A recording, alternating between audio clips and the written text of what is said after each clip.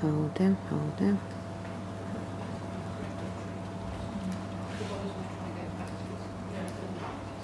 Square hole. Oh, yes.